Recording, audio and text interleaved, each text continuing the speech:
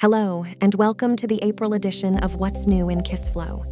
We're excited to share all the amazing updates we've rolled out last month. First up, we have the upgrade to Kissflow portals. Say goodbye to the 24 hour invite limit.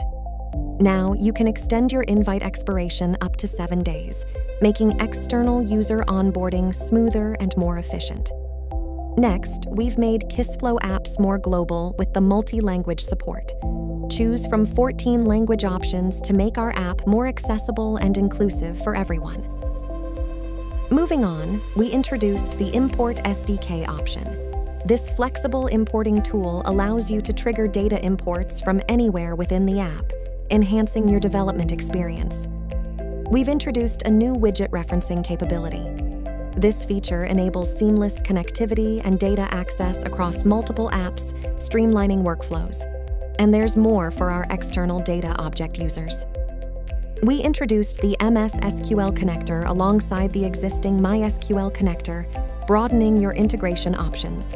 Upgrade your app reporting with our new card report for apps.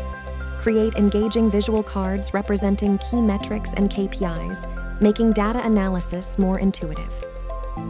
Moving on to forms, the rating field now supports half-star ratings, offering you finer granularity and more precise evaluations. Customize your notifications for apps, boards, and processes to stay on top of your game. Track progress and manage updates with ease.